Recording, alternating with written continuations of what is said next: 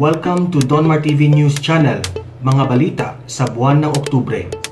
Sabi ni Zach, yung lumalaki na ulo mo, matagal na po malaki ulo ko. Yung mga maninipis dyan, ano na lang, yung mga maninipis dyan, wag na kayong mag-follow. Diyos ko naman. Ah, wait lang. Ah, may, may nag-comment about my article. Yung mga, ano, ganito lang naman yun eh. Yung mga may issue dun sa mga joke-joke ko, sa mga post ko, mag-unfollow na lang. Pati pinahihirapan yung buhay ninyo. So, moving on. Ano, hindi pa yun ang pinakamalala na joke na ginawa ko. My God. Mas malala pa yung ginawa ko. Mas malala pa yung ginawa ko dati. Sabi ni Artfax Masongsong, at tanong lang, ba't mo binasto si Pangulong Duterte? Ano, ba't ko binasto si Pangulong Duterte, gago? Joke lang yun. Kahit yung matanda natatawa sa mga joke na yun, hindi pa yun ang pinakamalalang joke role sa matanda. Ang mas, kaba, mas kabahan kayo, pag yung pambabastos na ginawa kay Pangulo, eh nakakasakit sa bayan. Kamukha nung ginawa ni, ni ano, Speaker Cayetano at yun ang topic, topic natin ngayon. Okay, moving on. So, ganito. First, ganito gagawin natin. I-discuss ko yung national budget. Okay? Pangalawa, yung mga maninipis dyan na madaling ma-offend, maghanap na lang kayo ng ibang page. Doon kayo sa ano, paano ba, ano ba magandang page? Doon kayo sa page ng Batibot, kung may page pa ng Batibot. Okay, moving on. So, ano, okay yan, na black. O, dali lang naman yan eh.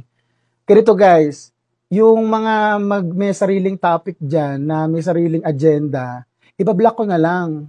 Para ano, wag niyo nang pahirapan yung sarili ninyo kung nabubuisit kayo sa akin. Mag-unfollow kayo, Diyos ko. Okay. So, nag-umpisa y- Okay, again ah. Yung, ano po, yung mga na-offend po dun sa napakababaw ko na joke kay about PRRD, mag-unfollow na kayo, nagsasayang lang kayo ng oras. Kasi po mas malala pa yung mga joke ko sa kanya dati at tumatawa naman yung matanda. Hanggat hindi po nagpa-public statement si PRRD saying na, na na-offend siya rin sa joke, wag po kayo mag-spokesperson ni PRRD. Tapos secondly, sabihin man natin na na-offend siya at na-offend kayo, eh maghanap po kayo ng ibang page. Hindi ko po kayo hindi hindi niyo po kailangan torturein yung sarili niyo na panoorin ng taong kinabubusitan niyo. Val Fuerte. Bakit ba galit na galit ka kay Speaker Alan Peter Cayetano? Ano ba nagawa niya sa'yo? Guys, galit na galit ako kay Cayetano kasi tinatarantado niya yung budget. Gago ba kayo? Wala tayong pambili ng COVID vaccine tapos gusto niyo matuwa ako kay Cayetano? Huwag nga kayong tanga. Diyos ko ha, common sense puta. Guys, Malileche yung Pilipinas dahil sa politika ni Cayetano tapos bawal pa akong magalit. Putang ina naman. Wow! O di kayo na humimod ng put ni Cayetano. Puta ako, hindi ako hihimod. Nilileche na niya yung bansa. Nilileche niya yung bansa ngayon. Tapos tinatanong niya kung ba't ako nagagalit. Putang ina, common sense. Okay guys, so pinarantado niya yung national budget tapos gusto niyo pumapalakpak ako. Putang ina naman guys. Putang ina naman. Putang ina naman. Putang ina Wah! Tangina, tinatanong niyo ba talaga ako ba't ako nagagalit? Tangina, tinatado niya yung budget ng bansa. Wala tayong pambili ng bakuna. Wala tayong pambili ng bagong internet. Wala tayong pang-improve ng public transportation. Tapos putang na, tinatanong ninyo, ba't mainit ang ulo ko? Puking ina naman. Okay, moving on. Putang ina. Isi, tangina, tanong nyo ba sa akin yan? Baban ko kayo, putang ina. Yo, hanap kayo ng ibang kausap, pag ako, puta. Okay, tuloy natin. So, ito na. Tang ina. Huwag naman yung mga... Ano ko trataduhang tanong naman yan? Guys, sinatarantado na niya Pilipinas? Tapos gusto niyo pumapalakpak ako? Putang ina naman. oh. Okay, tuloy natin. Hoy! Nag, nag-co-host na ako sa SMN. Ay, nagpapakabait na ako. Putang ina, pinapalabas ni demonyo sa loob ko. Eh, Diyos ko. Okay, tuloy. Putang ina. Ito yung House Speaker, hinostage niya yung budget at the risk na hindi tayo mabakunahan sa COVID paglabas tong bakuna kasi wala tayong pambili dahil hinostage niya yung national budget. Tapos tinatanong niya pa rin ako kung bakit ba init ang ulo ko kay Cayetano. Putang na naman guys. Anong tanong yan? Sabi, sinaksak ka lang naman sa likod. Mamamatay ka lang naman dahil sa COVID, dahil walang pambili ng bakuna yung gobyerno. Pero bakit ka nagagalit kay Alan? Tango na naman guys. Yung usapang usapang matino lang. okay, tuloy natin. So ganito, si Cayetano nag-reply kay Presidente pagkatapos magtawag ng special session. Ang sabi ni Alan, Hindi ko talaga maiwan, hindi ko talaga magets yung mga Cayetano diehard supporters. Dire-risk nyo na mamatay sa COVID ang milyong-milyong Pilipino dahil walang bakuna, dahil wala tayong magiging pambili ng bakuna. Nires, dire-risk ni Alan Cayetano yon. Tapos tinatanong nyo pa kung ba't hindi pat ako high blood kay Cayetano. Kasi po, yung pumulito ni Cayetano, baka ma, hindi po malabo na magresulta na mamatay po ang daan libo, baka milyong Pilipino dahil sa COVID. Yun po ang problema ko, putang ina. okay, tuloy natin. Uh, next, uh, ano ba to? Hindi ko kailangan ng boto nyo. Hindi naman ako tumatakbo. 'Di ba? Sabi, at TP, hindi na ka namin gusto. Eh, eh mano kung hindi nyo ako iboto. Okay lang naman, hindi naman ako tumatakbo eh. Pero, does it change the fact? Alam mo, kung ayaw nyo sa akin, does it change the fact na nantarantado ng bayan si Alan? No, it does not.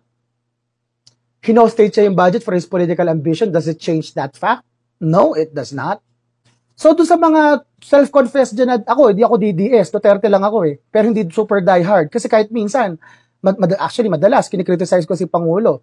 Eh, nun nga magkaharap kami noong 2017 sa Malacanang, sinabi ko sa kanya, Mr. President, harapan ha, tanong nyo man sila Crizet, tanong nyo man sila Attorney Trixie. Hi, Attorney Trixie. Love you, miss you. Okay, tanongin nyo man sila Attorney Trixie, sila Mark Lopez, si si Crizet, nakasama ko noon dun sa meeting with the President. Ang sabi ko, Mr. President, baka pwedeng wag ka na muna magmura. Eh, hirap-hirap mo, depensahan eh.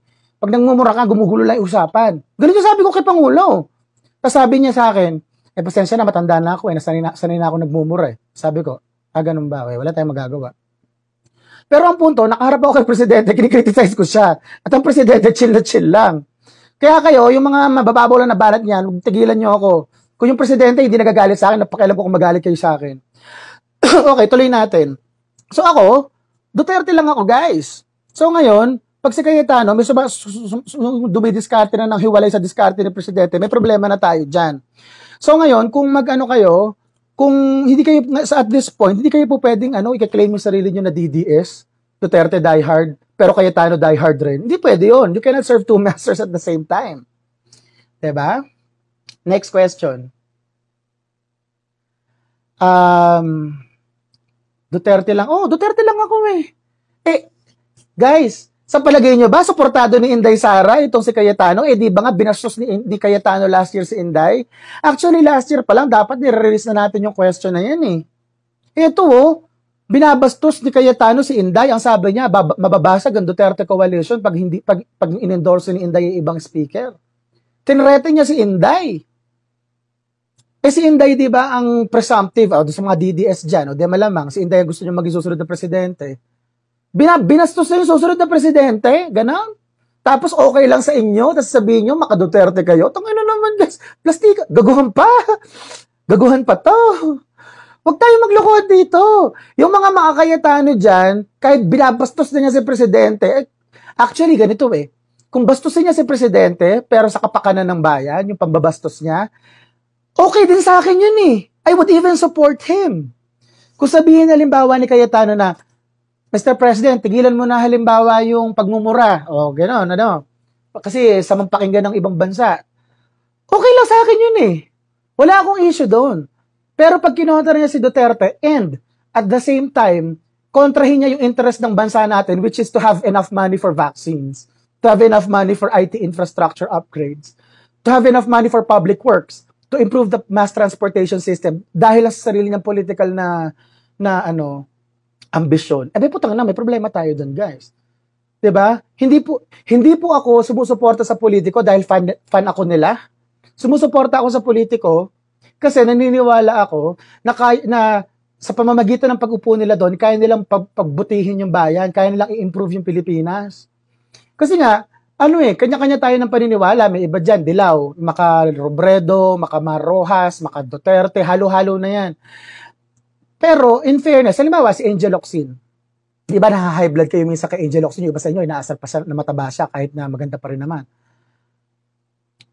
Ang problema, kaya alam mo, kaya kaya ko pang respetuhin si Angel Oxin, kasi kahit magkaiba kami ng prinsipyo, kahit magkaiba yung pinaglalaban namin, alam ko sa sarili ko, yung puso ni Angel Oxin apparently is in the right place mali nga, feeling ko nga lang, mali yung pinaglalaban niya. Pero, sa konsensya niya, tama yung ginagawa niya. So may respeto pa din ako doon. At least sinusunod niya yung konsyensya niya. Ito si Cayetano, anong prinsipyo pinaglalaban niya, Aber? Yung hindi niya mabigyan ng tamang pondo yung gobyerno. Anong prinsipyo yung pinaglalaban niya dito? Sino pinaglalaban niya? Pinaglalaban ba niya kayo?